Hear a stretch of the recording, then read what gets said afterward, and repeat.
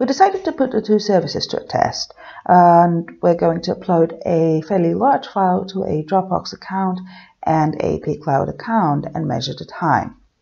Here we are in the Dropbox uh, account. We're going to select the file and as you can see its size is 1.12 gigabytes. We're also going to start a timer so that we can track the time it takes to upload that file to Dropbox. As you can imagine, what is crucial about a cloud drive to act as an actual virtual hard drive is uh, the speed at which you upload and download files.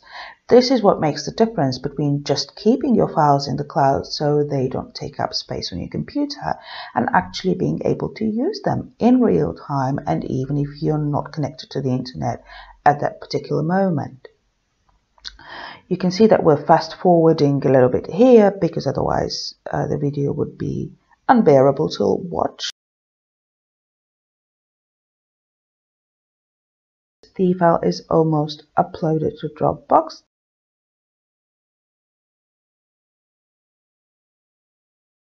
There it is, it's ready. It took us 5 minutes 35 seconds um, approximately to upload that file to Dropbox. Now we're going to do the same thing with pCloud.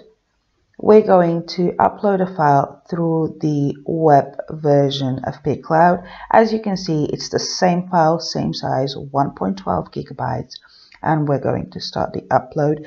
As soon as the file is uploaded, it will be synced into the desktop app, pCloud Drive, as well as uh, any of the mobile apps that you may be using. We've got pCloud for uh, iPhone as well as for uh, Android phones and we're soon going to have one for Windows Phone as well.